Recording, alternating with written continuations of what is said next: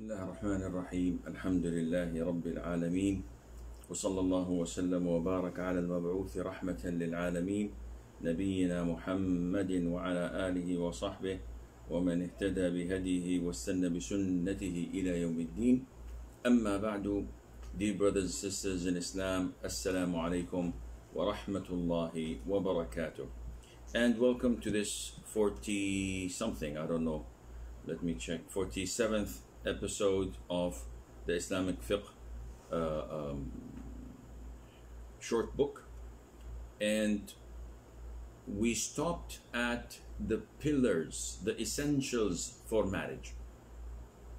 And the scholars say that the arkan the pillars for a valid marriage are three. Now you remember we said that there are what is known as pillars, there are conditions, and there are other things that are mandatory in the nikah, in the marriage. So the pillars that without the marriage would be invalid are as follows. The first one is to have the marriage taking place without having any obstacles. So the two parties, the wife and the husband, should be free of any reason that prevents a marriage. And we spoke about that earlier when we were talking about the conditions of marriage. Such obstacles would be that they are siblings. The man and the girl were breastfed by the same woman, for example. With the conditions, of course, known as we will come and discuss later on, inshallah. Marrying a woman while being married to her niece or to her aunt. This is not permissible. The Prophet ﷺ prohibited combining between a, a woman and her niece. Marrying two sisters. This is not permissible. As mentioned in the Quran in, in chapter 4, Surah An-Nisa. Marrying someone who is of a different religion that we cannot marry from. So a man cannot marry a Hindu woman, a Buddhist, an atheist. He can only marry a Muslim, a Jew, or a Christian woman. And a Muslim woman cannot marry anyone who's not Muslim. So all of these are obstacles that prevent marriage from taking place. The second pillar is what is known as proposal. And the proposal happens from the woman's guardian. And we said that the guardian is the father. And we mentioned that this is one of the conditions of marriage to have a guardian. But we have a guardian, a pillar of nikah, of marriage, that the guardian gives the proposal by saying, I give you my daughter in marriage. In the conditions, we said proper identification. So if he has five daughters, saying, I give you my daughter in marriage is not valid. He has to identify the eldest, the youngest, her name, by a description that cannot be ambiguous. This is known as the proposal. In Arabic, it's called ijab. And the third pillar is acceptance, al qabul. And this is done by the groom or those who represent him. Now, in the midst of COVID 19, a lot of marriages have been postponed and delayed due to lack of travel, due to, you know, the reasons. So I get a lot of calls from a brother and a sister living in America, and the father is in India or in Africa, and they cannot travel to conduct the marriage. So, can they do it through Skype? So the father calls the boy and he says, I give you my daughter in marriage. And he names his daughter. The groom must say, I accept her marriage to myself. So this acceptance is a must. Now, in your textbooks, you will find this last phrase after mentioning these three pillars. It says, the commitment must precede the acceptance, meaning that the guardian of the girl has to say, I give you my daughter in marriage, I give you my sister in marriage. And the groom says, I accept. If it was reversed by the groom going and saying, Uncle, I would like to marry your daughter Fatima. And the guardian says, Son, I give you my daughter Fatima in marriage. According to our textbook, this is not valid. And it is not accepted. Yet this is not the most authentic opinion. Saying it is not accepted is the opinion of the Hanbali school of thought, which I follow. And saying that it is accepted regardless who initiated it, is the opinion of the vast majority of schools of thought, and I am inclined to that opinion simply because the Quran and the Sunnah support it. As for the Sunnah, in an authentic hadith, a man was in the presence of the Prophet ﷺ. When a woman came, stood in front of the Prophet ﷺ and said, O Prophet of Allah,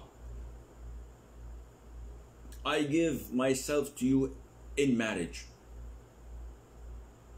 Now, this is known in Arabic, the one who gave herself to the Prophet in marriage. Al-Wahiba, nafsaha. The Prophet looked at her and looked elsewhere, showing that he's not interested. A man stood up and said, O Prophet of Allah, if you don't want to marry her, then let me marry her. So the Prophet asked him how much he has to offer as a dowry, etc. Then the Prophet said, والسلام, I give her to you in marriage. The Prophet was the guardian. So the man's proposal, or shall we say the man's acceptance, preceded the proposal of the Prophet ﷺ, which supports the opinion of the majority of schools of thought that in normal cases when we go to propose to a woman in her house. So all the men come from the boy's side and the men from the girl's side are sitting, her uncles, brothers, etc. Then they, they speak. If this is an engagement, they would say, We are interested in your girl. And they would say, You are more than welcome. End of story. Acceptance of engagement, proposal, but not marriage. But if the man says to the girl's father, Uncle, I want to marry your daughter Aisha, and the father says, You are more than welcome, my son, I accept. This is valid and it's a, it's a happy marriage. Of course, in the presence of two Muslim male witnesses. And some schools of thought insist on using special terminologies. So they say you have to say أنكحتك ابنتي or زوجتك ابنتي and he responds by saying قبلت نكاحها قبلت زواجها and they say that if you use any other terminology this is not valid and this is not true if you propose in English son I'd like to give you my sister in marriage or daughter in marriage and the man says whoa that's cool I'm all for it that's that, that's your job he doesn't have to say قبلت نكاحها or accept marrying her any statement of approval does the job insha'Allah azza wa jal we move on to the chapter that deals or the section that deals with the dowry dowry in Arabic means sadaq sadaq or mahar. So either way it's the same thing that is paid for a girl. And the Arabic term sadaq is derived from a root that means truth it refers to the money that the groom must give to his bride in connection with the marriage contract. And this is backed by the Quran, by the Sunnah, by the consensus of scholars of thought that no marriage is possible without giving compensation, financial compensation to the woman. Allah Azza wa Jal says in the Quran, and give the women upon marriage their bridal gift graciously. وآتوا النساء صدقاتهن نحلة with happiness. Don't give the money, the dowry, while you are hesitant or hating that.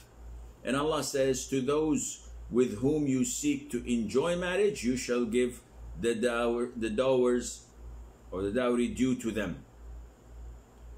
And the Prophet ﷺ, in the previously mentioned hadith of that woman who gave herself to the Prophet, when the man ﷺ, uh, when the man said, "O Prophet of Allah, if you're not interested in her, marry me to her." The Prophet asked him, "What money do you have?" And the man did not have anything. So the Prophet said, Look, even for a ring made of iron. And the man was stone broke, nothing. He does not possess a thing, not a penny. So the Prophet asked him about what he uh, uh, memorizes from the Quran. And he asked him about clothes, about a sword, about a shield, anything. When the man said he doesn't have anything, the Prophet ﷺ ordered him to marry her through teaching her surahs of the Quran. And most likely, this was an alternative for something that is tangible, something that is financial. Nowadays, we get rich women insisting that their dowry would be Ayatul Kursi, for example, or Surah so and so. This is not something that is recommended in Islam. That was an exceptional case for that man because he had nothing. But for those who possess wealth or money, the dowry should be in money or something that is tangible, something that can be compensated and returned just in case the marriage is needed to be dissolved. A woman needs to leave the marriage and files for khul'a. She has to give back her dowry. But if her dowry is Ayatul Kursi, how is she going to pay her husband back? So it has to be something financial if the man uh, uh, is capable of paying it. The following section now, okay, let us go back to dowry because the book did not mention these things. Let me try to think of things that might benefit you and they're not mentioned. A lot of the people think that giving the dowry is essential to consummate the marriage. In Urdu, they say rukhsati. So, in order to get the marriage consummated, the dowry has to be paid. And this is not true. The dowry can either be paid in advance. The marriage night is in two months' time, and I give the dowry in advance two months. It can be given on the same night, it can be a loan postponed to later on. And a lot of, unfortunately, a lot of the men delay giving the dowry until the woman dies. And this I have seen so many times getting questions about this. A man says, or the children say, that our mother died last week and our father did not pay her the mahar, the dowry, the sadaq. So is he entitled to keep it or this is part of the inheritance, the wealth that must be divided? The answer is it's just like a normal loan. It has to be paid off. Now, a word of advice. A lot of the sisters don't need the dowry, so they don't ask for it. However, this is their right in Islam and it's part of their savings. So, this means that if you got married and your dowry was 5,000 euros and you did not ask for it or take it, every single year you should include these 5,000 euros in your zakat and give 2.5%. Why, Sheikh? Because it's a loan and you're not asking your husband to pay it off. So either ask him every single year to pay it off to you because this is your God given right. If he's broke and he cannot pay it, the zakat is delayed, no problem. But if he's capable of doing it, but you're ashamed of asking him, or you don't want to, you have to give zakat every single year. How to escape this? Either he pays or you forgive him. So he tells you, okay, 5,000 euros, um, inshallah, I'll pay it to you next month. And you say, I don't want it. It's a gift from me. Or you say, well, give me 1,000 euros. I need to do my teeth. I want to buy a, a, a, a new glasses and keep the rest as a gift. No problem. Because Allah mentioned this in the beginning of chapter 4, Surah An-Nisa, that if they are kind enough to give you wholeheartedly or some of your dowry that you had paid, there's no problem in that. Among the things that needs to be addressed is that in Islam the dowry is given from the boy to the girl. All financial expenses are covered by the boy. The girl's side of the family do not have to spend a penny. And unfortunately, we see nowadays this trend of imitating the Hindus, where the men live off their wives. We see, unfortunately, a lot of the Muslims, and I, I have come across or actually I usually get across such issues on weekly basis where the girl says that I married a man and his family they're haunting me every single day for a dowry. And I asked but this is not Islamic. She says yes I know. The area we live in is dominated by Hindus. So his family are expecting my family to purchase a flat, an apartment, and this is okay. If the girl's family wants to purchase a flat or an apartment so that they can live without paying rent, no problem. The problem is when they register it in his name, not in hers. This is dowry. What, did, what does he do to deserve such wealth?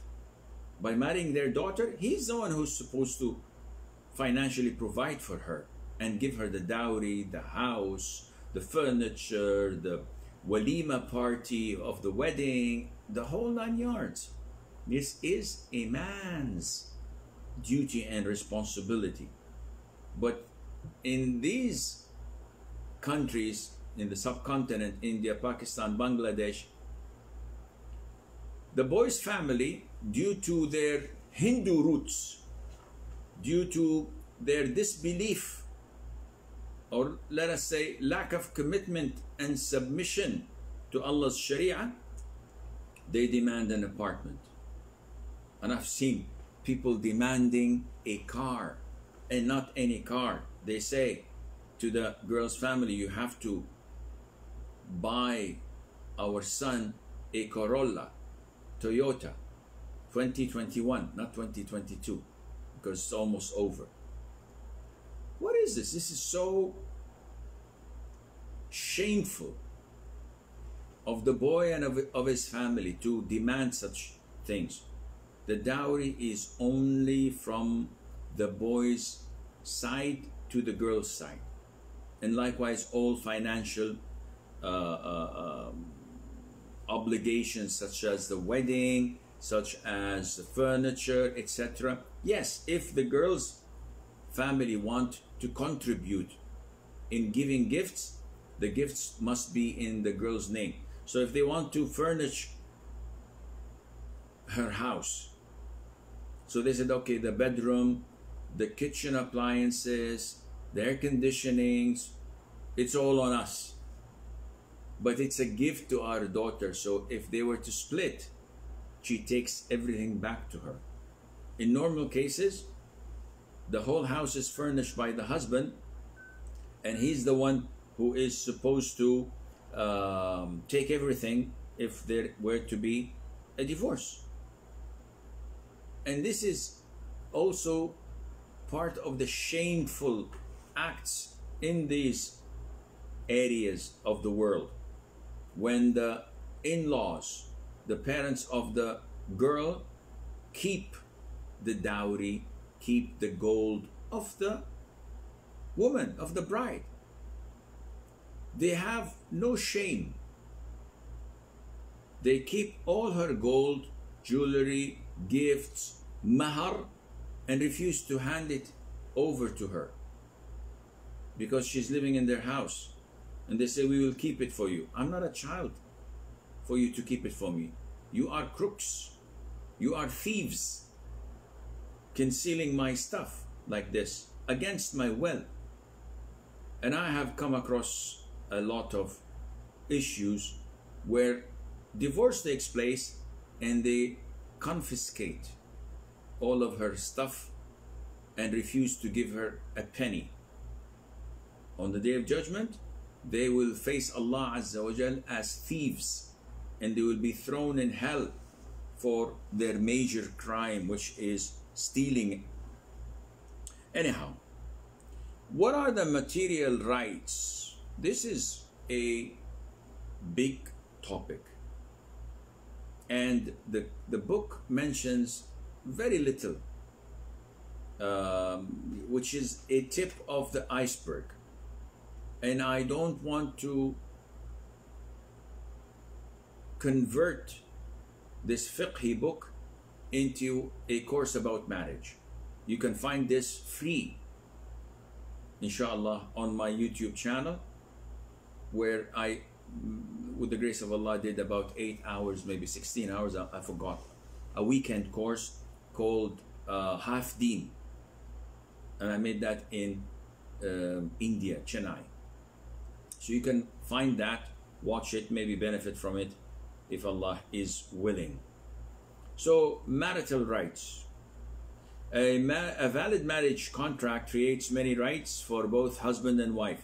These are one, the wife's rights. So, what are the wife's rights? There are so many so many mentioned in the Quran and the Sunnah. Unfortunately, we cannot yani, elaborate a lot on it just to save time. So the first right that is mentioned here is the dowry, and we've gone through that. Number two, being looked after. It is your wife's right in Islam to look after her. I don't want to tell you how many in Europe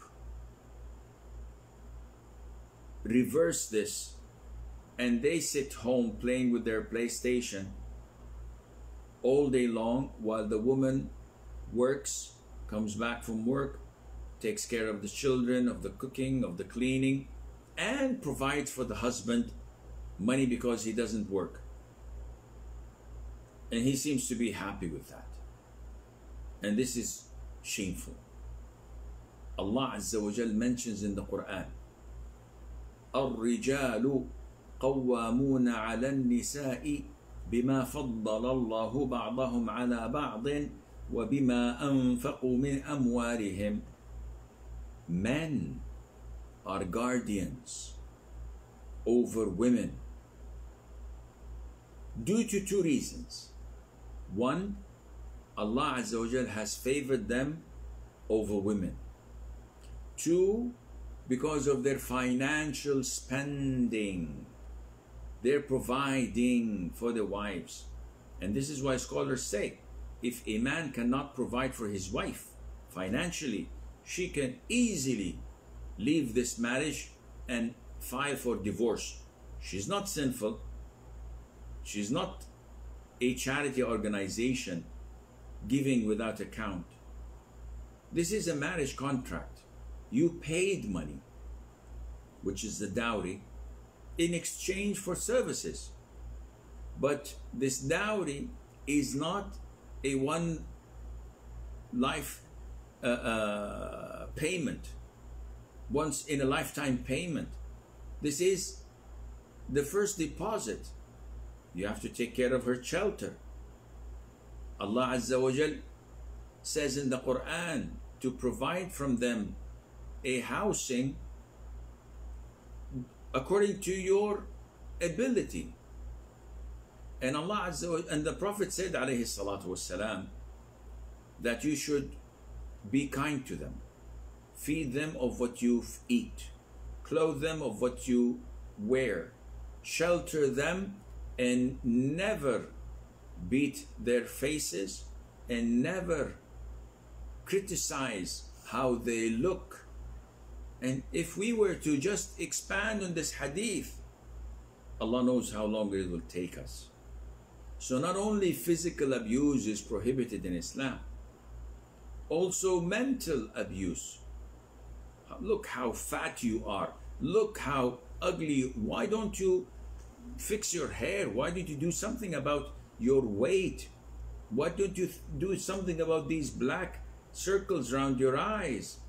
Why don't you put some makeup, whiten your teeth, do something? You're ugly. You're as ugly as a monkey. What is this? This is a major sin. That's what it is. And you're sinful. And if you had the guts to look in the mirror and see how ugly your face is, or how bad your mouth smells, or how big your belly is, you failed to see your toes for the past 10 years and you're criticizing how she looks, you have a problem. These are the rights of women in Islam. A wife must be respected, must be valued. Her parents did not bring her up to throw her in a, the garbage where she's living at the moment. They brought her up to be honored, to be respected. They gave you the most valuable thing in their lives.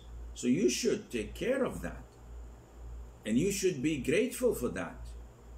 So being looked after it's not just only food, clothes, medical care, and a shelter. It is also a lot other than that. But these are what they call the tangible aspects.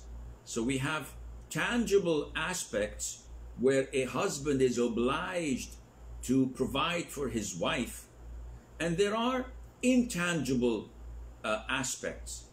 So when we when it comes to the dowry to being looked after, the, these are tangible. You can, you know, monetize it. You said I spend this much and this much. But when it comes to intangible actions, well, the third part is sexual intercourse. A woman got married and she came as a normal human being, interested in having intimacy with her, with her spouse. Allah Azza wa Jal described the spouses of being a cloth to one another. So each one is metaphorically the clothes of the other. so it's not a one way street. You desire her, she desires you as well.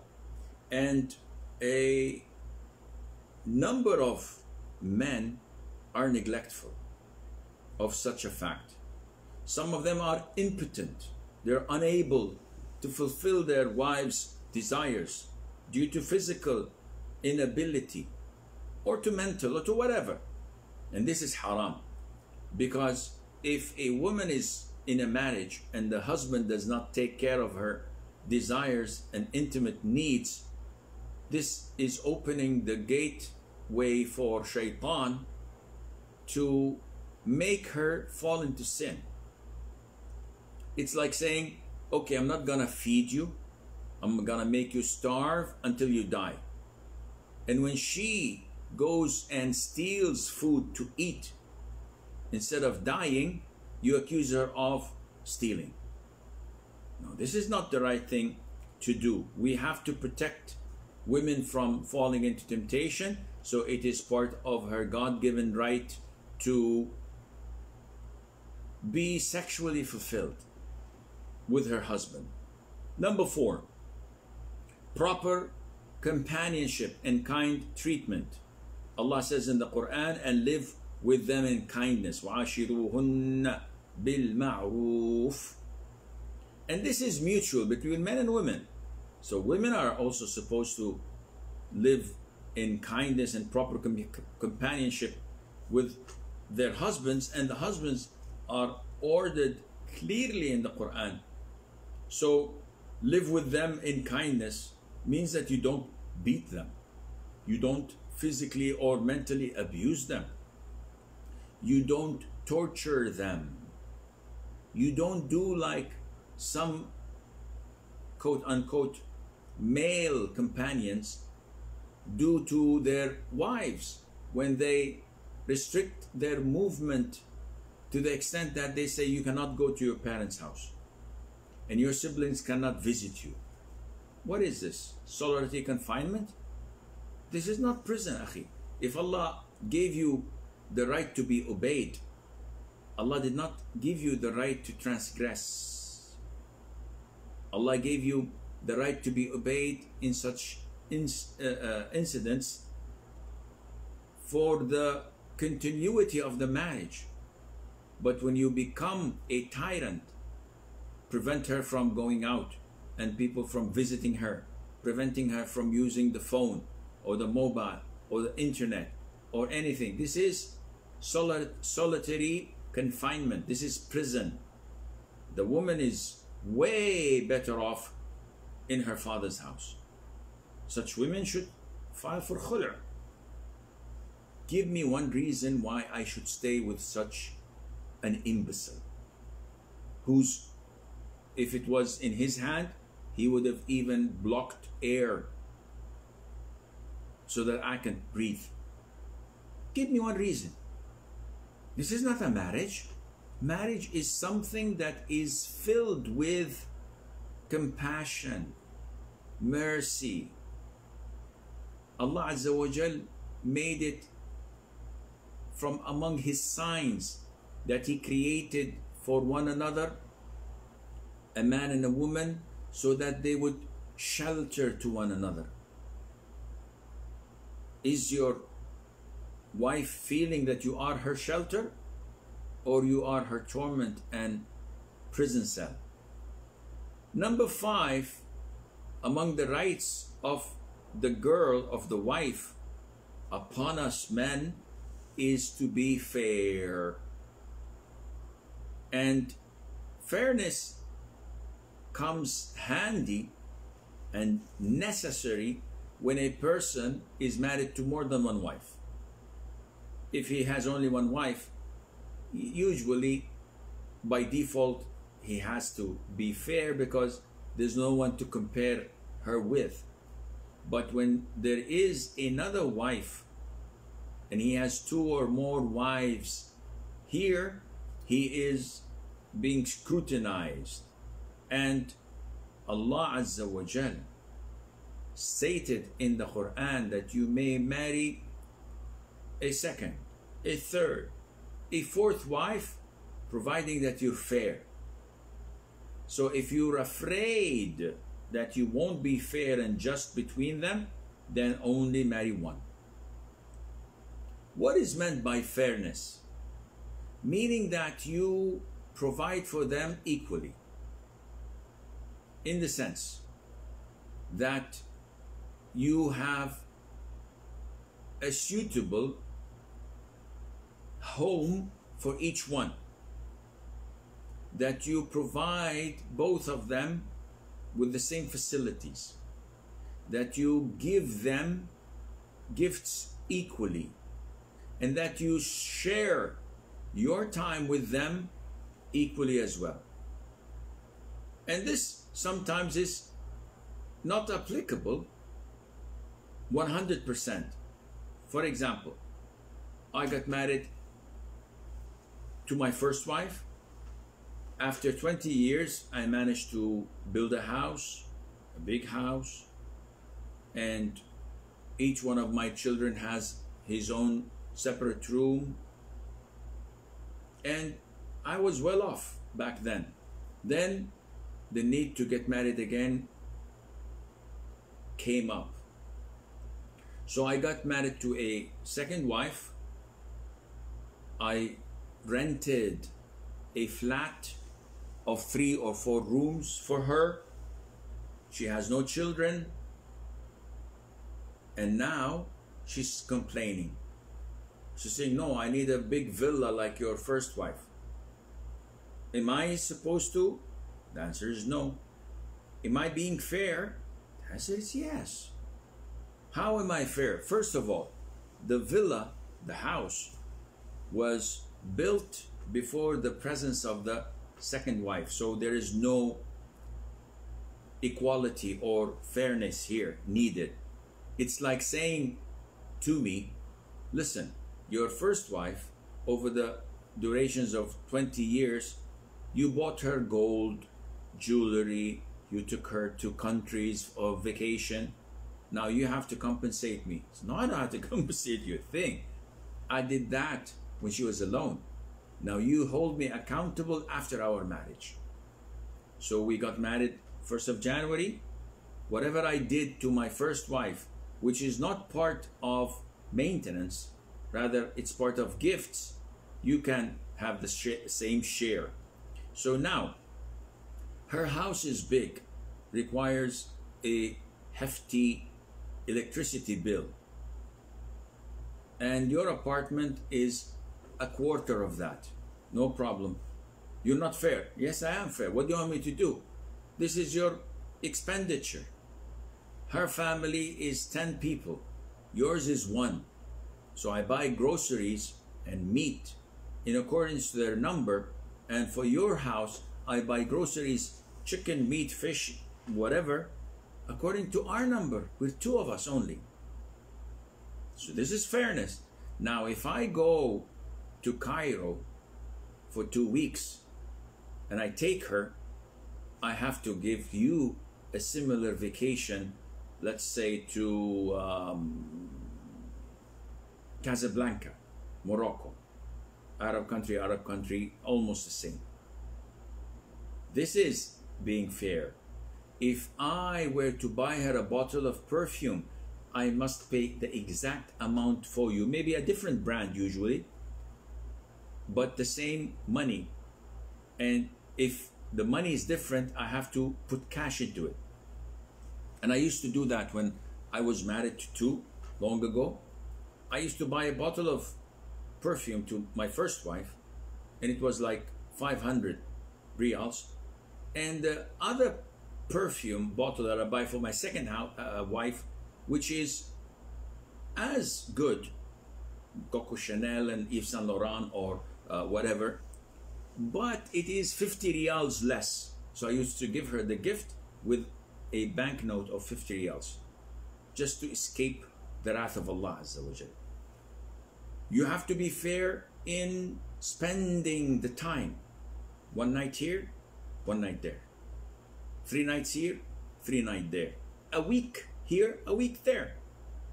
But if someone says, uh, my first wife has five children, so I have to spend more time with them, so I'll spend four days with them a week, and because you, you don't have children, I'll spend three days. This is haram.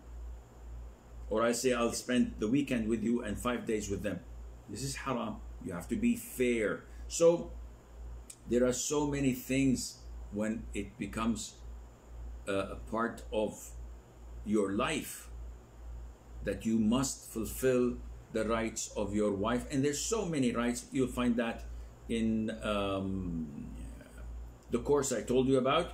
And maybe if next time uh, I see it fit or people ask for it maybe we will we can expand on it a little bit. But inshallah this is all what is needed for you guys to learn about so we move on to the questions leaving the rights of the husband to next Thursday inshallah azza. Basiru says if Muslim man says Quran discriminates women can I call him a kafir? Well, well, this is a very difficult situation. Can there be a person criticizing the Quran? The norm, generally speaking, we have something called takfirul muayyan. And we have the takfir al-am.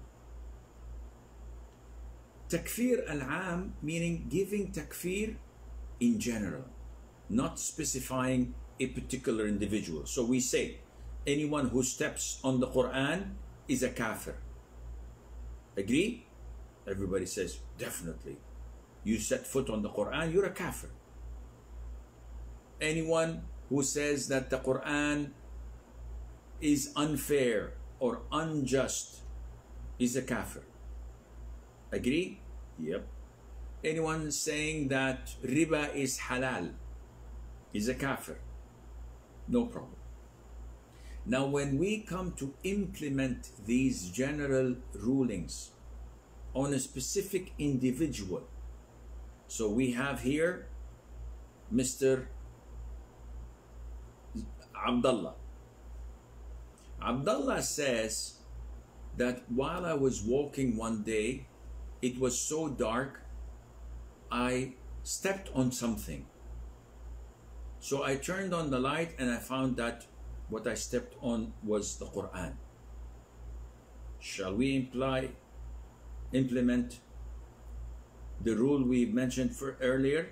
Anyone who steps on the Quran is a kafir? Mm, uh, Sheikh, it was an error. He didn't mean it. Khair. Answer is correct. Then he says that due to I was recently yani, uh, converted to Islam, didn't know Arabic, once a person said to me that Islam says do this, do that, Quran says do this, do that, and being impulsive and thinking that there's no way Islam can say such a thing, I said, no, this discriminates. This is unfair. But when people told me about it, I came to back to my senses and I said, Astaghfirullah, I was wrong. So is he a kafir? The answer is no. Question number three. If a person says riba is halal, this is kufr. But wait, Abdullah here says riba is halal.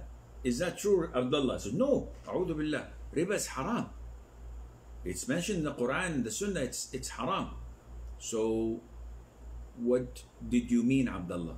He said, Akhi, riba is haram, but the interest that I pay to the bank in exchange for a loan, this is business. This is not riba. Riba is in gold and silver. I'm taking cash. This is not riba. Ah, so Abdullah's problem is with understanding the meaning of riba, in identifying the meaning of riba, whether this falls under riba or not. But the concept of riba being haram, he has no dispute in that. So he's misinterpreting. This does not take him out of the fold of Islam. So now we come back to your question, Basiru. Basiro. Uh, if a person says the Quran discriminates women, we sit him down, usually not me, scholars of Islam, Muslim judges, to investigate what he meant by that. So if he says, yes, Islam or the Quran discriminates against women, why would Allah favor men over women? And mentions this in the verse you have just recited. الرجال قوامون على النساء Men are guardian over women. Due to what Allah has favored men upon them. Why would Allah do this? So, Akhi, watch your steps carefully. Are you claiming that Allah is unfair and unjust? If He is defiant, if He is insisting, this means that the conditions are fulfilled. He's not misinterpreting. He's not ignorant. We've shown it to him. He is not having any ambiguity. He did not make any mistake. You know the man who lost his camel in the desert? and on it was his food and everything and water. When he realized that he was a dead man in this huge desert, he took a nap. When he woke up, he found the camel next to his head. He grabbed the rope and out of joy, he said, Allahumma anta abdi. O Allah, you are my servant and I am your slave. Uh, sorry, you are my servant and I am your Lord. The Prophet said, أخطأ من شدة الفرح. He made a mistake out of extreme joy. Now, does anyone say that this mistake would put him in hell? No. So when there is misinterpretation, when there is ambiguity, when the, there's no clarity, when the man is making an, an error, when he doesn't know, all of these are conditions and obstacles. Obstacles from giving takfir. But if all conditions were fulfilled and all obstacles were eliminated, and the man is, is defiant, he's insisting, riba is not haram. And what was mentioned in the Quran is not correct. This is a blatant kafir. However, try your level best to avoid giving takfir to anyone because this is the role of Muslim judges and scholars. They have to identify the fulfillment of the conditions and the elimination of the obstacles. For us, we see people giving takfir day and night. Assalamu alaikum, Sheikh. My husband doesn't pray. He hasn't prayed for 20 years and he doesn't fast and he always does bad things and he doesn't believe that it is mandatory to do this or that. So is he a kafir? Am I divorced? So she's giving takfir in order to get away from such a marriage. And this is problematic. Giving takfir is one of the characteristics of al khawarij. So be careful from falling into such dungeons. Subayr says, What is Islam saying on zina in marriage? this doesn't make any sense, Subayr. If you are asking about a married person committing adultery, this is a major sin. If he is not married and committing fornication, this is a major sin. If you meant that they were fornicators and got married while being fornicators without repenting, the marriage contract is void, is invalid, they have to renew it. So your question doesn't make any sense, Akhi, but I hope you found your answer in what I had said.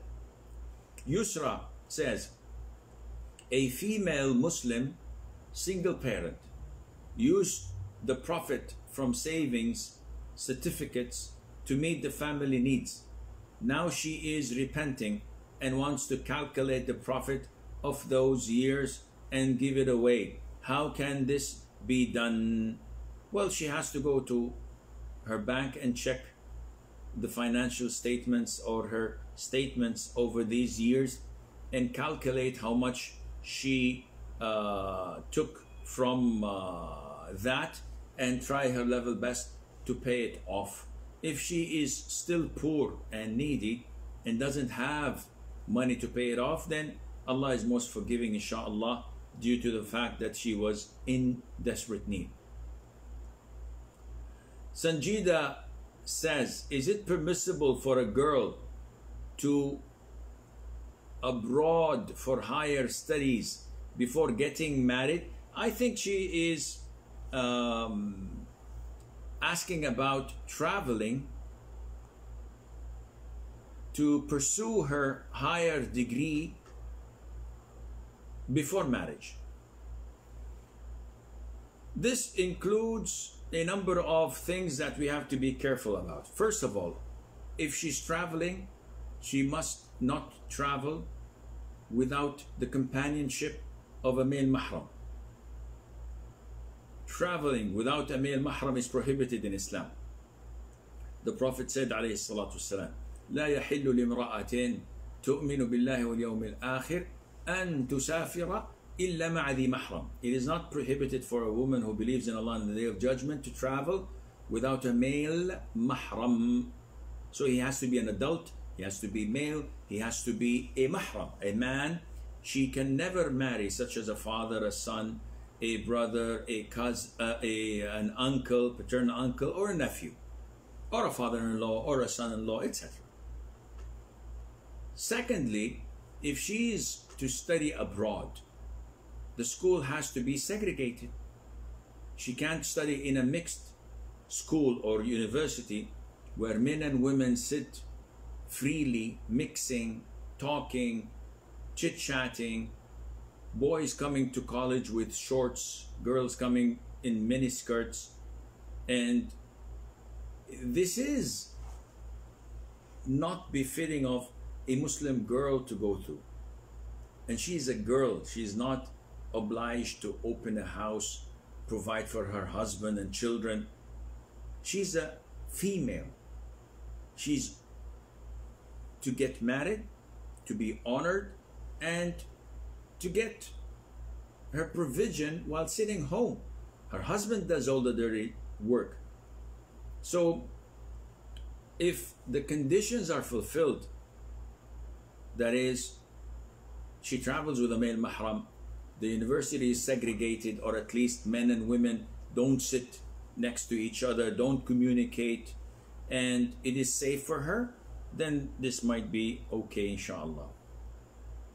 Adil Ahmed says, When I was young, I did not realize how badly I was transgressing while backbiting. Now I have truly come to realize the wrongs I was committing. Is it enough if I ask Allah for forgiveness, or should I ask the people as well, as I do not remember who, the, who they were or where they are? Is it enough to ask Allah for forgiveness?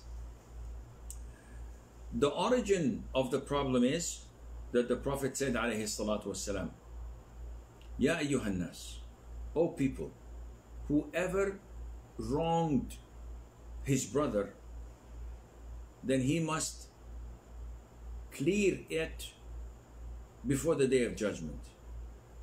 Meaning, clear it in this dunya. For on the day of judgment, there is no dirham or dinar, there is no dollars or euros or reals.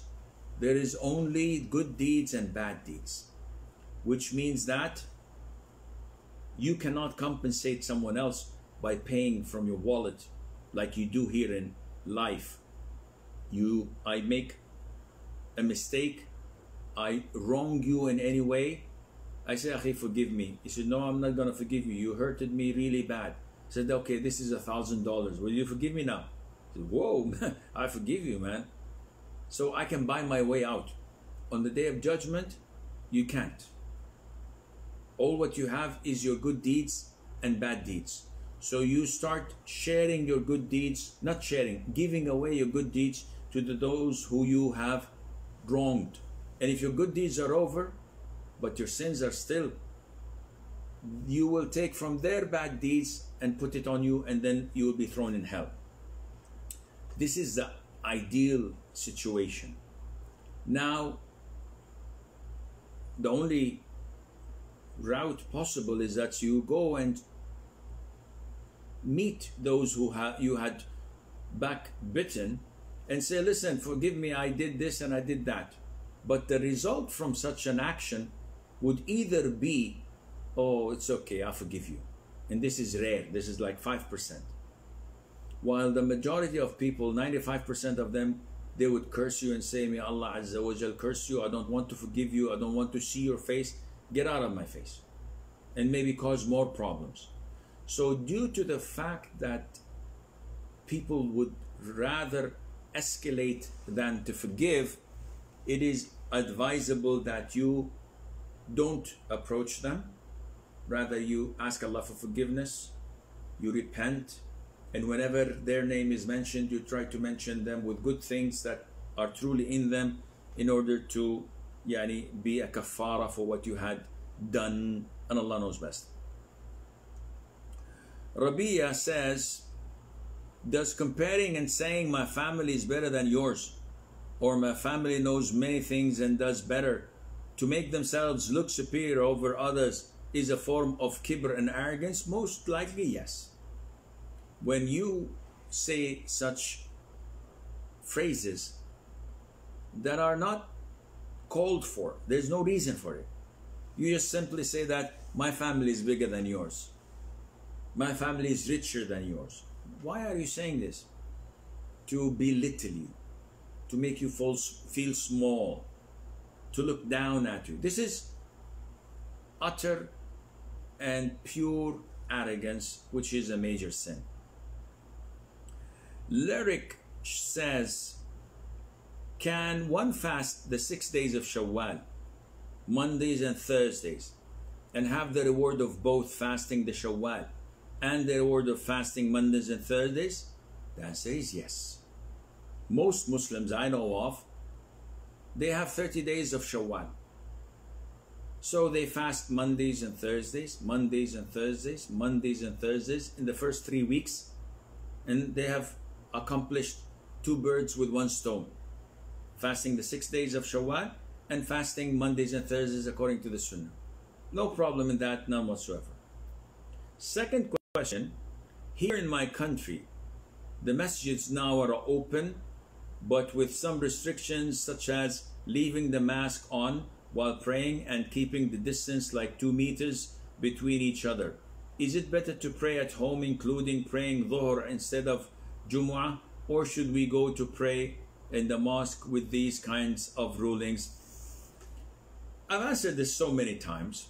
So the final answer would be that social distancing in prayers is an issue of dispute.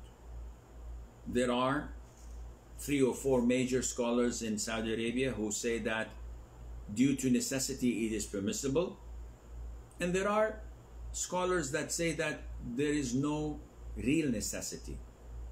Give me a break. We go to the supermarkets, we go to the uh, uh, shops, to the malls, and we are like half a meter away from one another, or sometimes shoulder to shoulder. We're wearing masks, but nobody says anything. When it comes to the masjid, you tell me to stay two meters apart. What is this? And this is for COVID 19. It's not a plague. It's not a real uh, uh, pandemic that kills the millions. worldwide, like the Spanish flu, for example. No, it killed what? 300,000? 1 million person worldwide out of 1.7 billion? This is nothing. So the necessity that necessitates this social distancing and prayer does not seem to be genuine and real.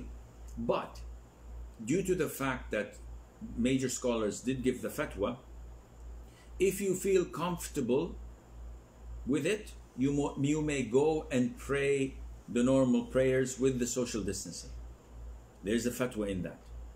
If you don't feel comfortable and you don't feel like you are in a masjid, especially with the mask on and with your prayer mat and with the social distancing, might as well feel better praying home.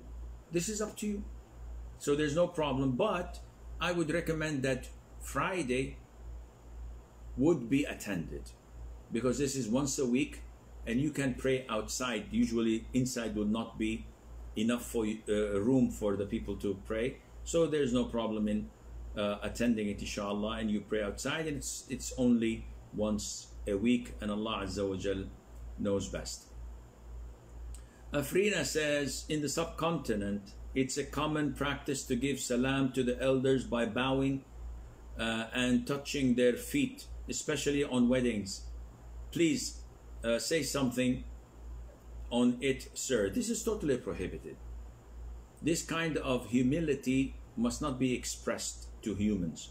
Bowing down is a ritual that can be only devoted to Allah Azza wa Jal and not to humans. So this is not permissible to comply with. And the final question is from Muhammad uh, Hamayan says, the woman hair that are no longer part of her head, should she bury it or can be thrown out?